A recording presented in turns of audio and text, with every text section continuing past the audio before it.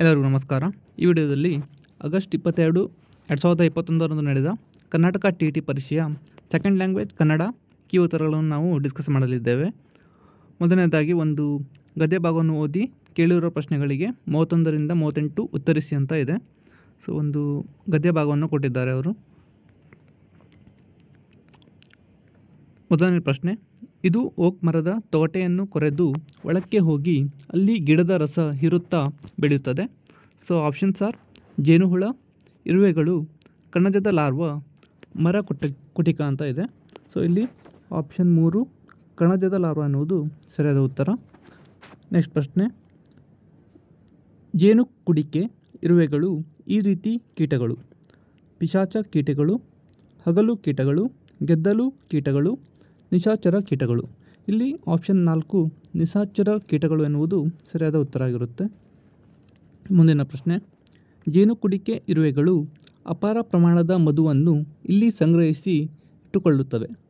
So options ಹೊಟ್ಟೆಯಲ್ಲಿ, ಗೂಡಿನಲ್ಲಿ, ಬಿಲದಲ್ಲಿ, ಮರದಲ್ಲಿ. ಇಲ್ಲಿ ಆಪ್ಷನ್ ಒಂದು, ಹೊಟ್ಟೆಯಲ್ಲಿ ಅನ್ನುವುದು ಸರಿಯಾದ ಉತ್ತರ ಆಗಿರುತ್ತೆ. ಮೂವತ್ತ್ನಾಲ್ಕನೇ ಪ್ರಶ್ನೆ ಜೇನು ಕುಡಿಕೆ ಇರುವೆಗಳು ಸಾಧಾರಣವಾಗಿ ಈ ಮರದ ತೊಗಟೆಯ ಮೇಲೆ ರೂಪುಗೊಳ್ಳುವ ಗಡ್ಡೆಗಳಿಂದ ಮಧುವನ್ನು ಸಂಗ್ರಹಿಸುತ್ತವೆ. ಆಪ್ಷನ್ಸ್, ಮಾವಿನ ಮರ, ಹಲಸಿನ ಮರ, ಓಕ್ ಮರ, ಬೇವಿನ ಮರ ಅಂತ ಇದೆ. ಇಲ್ಲಿ ಸರಿಯಾದ ಉತ್ತರ ಆಪ್ಷನ್ ಮೂರು, ಓಕ್ ಮರ ಆಗಿರುತ್ತದೆ. ಮುಂದಿನ ಪ್ರಶ್ನೆ. ಜೇನು ಕುಡಿಕೆ ಇರುವೆಗಳು ಈ ಪ್ರದೇಶದಲ್ಲಿ ವಾಸಿಸುತ್ತದೆ ಜವುಗು, ಹಿಮಪರ್ವತ, ಮಲೆನಾಡು, ಅರೆ ಮರಳುಗಾಡು ಅಂತ ಇದೆ. ಸೊ ಇಲ್ಲಿ ಆಪ್ಷನ್ ನಾಲ್ಕು ಸರಿಯಾದ ಉತ್ತರ ಆಗಿರುತ್ತದೆ. ನೆಕ್ಸ್ಟ್ ಕ್ವಶನ್ ಕಣಜದ ಮರಿಗಳು ಹೊರಬಿದ್ದ ಮೇಲೆ ಖಾಲಿ ಇರುವ ಗಡ್ಡೆಗಳ ಟೊಳ್ಳಿನೊಳಗೆ ಈ ದ್ರವ ಶೇಖರಣ ಶೇಖರವಾಗಿರುತ್ತದೆ. ಸೊ ಮಳೆ ನೀರಿನ ದ್ರವ, ಜೇನುಹುಳುಗಳ ಸಂಗ್ರಹಿಸುವ ದ್ರವ, ಇರುವೆಗಳು ಬಿಡುವ ದ್ರವ, ಗಿಡದಿಂದ ಒಸರ್ ಒಸರುವ ಸಿಹಿ ದ್ರವ ಅಂತ ಇದೆ. ಸೊ ಆಪ್ಷನ್ ನಾಲ್ಕು ಸರಿಯಾದ ಉತ್ತರ ಆಗಿರುತ್ತದೆ. ನೆಕ್ಸ್ಟ್ ಮೂವತ್ತೆರಡನೇ ಪ್ರಶ್ನೆ. ಚಿಕ್ಕ ಚಿಕ್ಕ ಪದವು ಈ ವ್ಯಾಕರಣಾಂಶಕ್ಕೆ ಉದಾಹರಣೆಯಾಗಿದೆ. ದ್ವಿರುಕ್ತಿ, ಜೋಡಿ ಪದ ಅನುಕರಣ ಪದ, ಪ್ರತಿಧ್ವನಿ ಪದ ಅಂತ ಇದೆ. ಸೊ ಇಲ್ಲಿ ಆಪ್ಷನ್ ಒಂದು ದ್ವಿರುಕ್ತಿ, ಸರಿಯಾದ ಉತ್ತರ ಆಗಿರುತ್ತೆ. ನೆಕ್ಸ್ಟ್ ಮರಳುಗಾಡು ಪದ, ಪದದಲ್ಲಿ ಆಗಿರುವ ಸಂಧಿ, ಆದೇಶ, ಲೋಪ, ಆಗಮ ಸವರ್ಣದೀರ್ಘ ಸಂಧಿ ಅಂತ ಇದೆ. ಇಲ್ಲಿ ಆಪ್ಷನ್ ಒಂದು, ಆದೇಶ ಸಂಧಿ, ಸರಿಯಾದ ಉತ್ತರ ಆಗಿರುತ್ತದೆ.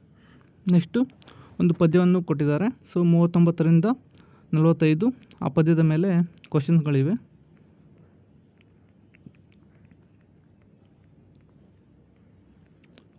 ಸೊ ಮೂವತ್ತೊಂಬತ್ತನೇ ಪ್ರಶ್ನೆ. ಕವಿಗೆ ಯಾವುದು ಸಾಕಾಗಿದೆ?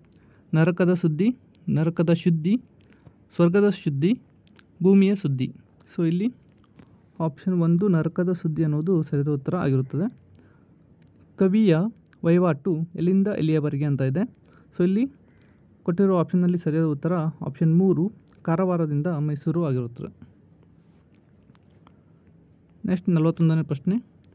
ಕವಿಯ ಪ್ರಕಾರ ಅಮೃತವನ್ನೇ ಭೋಜನವೆಂದು ಸೇವಿಸುವ ಸ್ಥಳ ಇದಾಗಿದೆ. ಆಕಾಶ, ಭೂಮಿ, ನರಕ, ಸ್ವರ್ಗ ಅಂತ ಇದೆ. ಸೊ ಆಪ್ಷನ್ ನಾಲ್ಕು ಸ್ವರ್ಗ.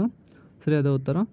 ನೆಕ್ಸ್ಟ್ ಒನ್ ಸವಿಯನ್ನೇ ತಿಂದರೆ ಮೈಗೆ ಇದು ಆಗುವುದಿಲ್ಲವೇನು ಎಂದು ಕವಿ ಕೇಳಿದ್ದಾರೆ.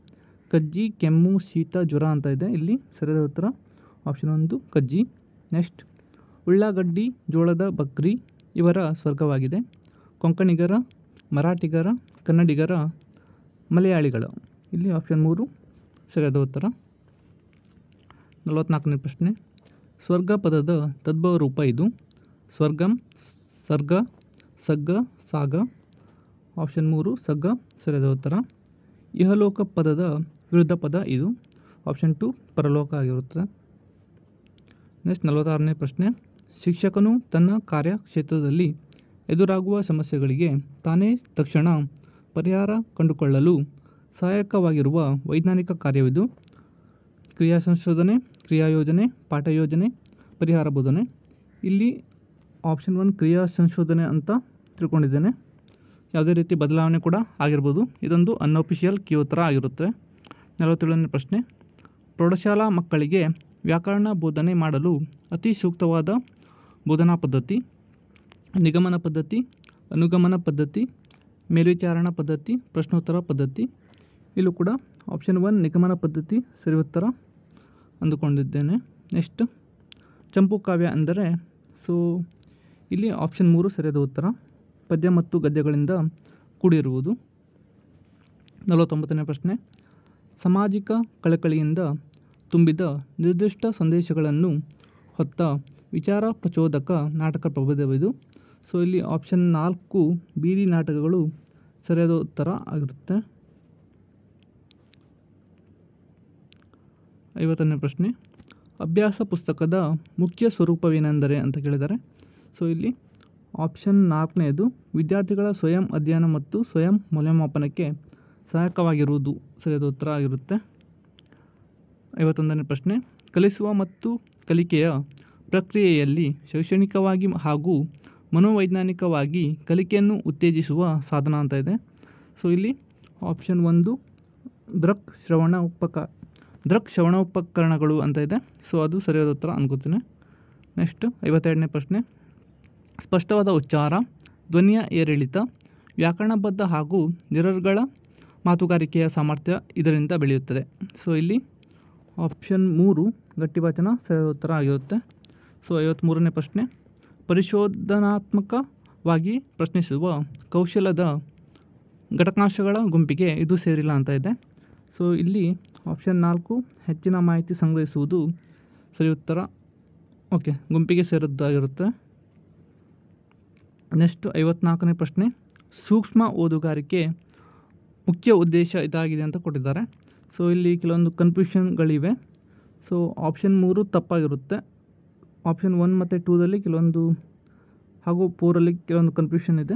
ಸೊ ಇದನ್ನು ಹಾಗೆ ಬಿಟ್ಟಿರ್ತೇನೆ ಐವತ್ತೈದನೇ ಪ್ರಶ್ನೆ, ಚರ್ಚಾ ಸ್ಪರ್ಧೆಯಲ್ಲಿ ಮಕ್ಕಳನ್ನು ಭಾಗವಹಿಸುವಂತೆ ಪ್ರೇರೇಪಿಸುವುದು ಈ ಕೌಶಲ ಬೆಳೆಸುವ ಸಲುವಾಗಿ ಅಂತ ಇದೆ.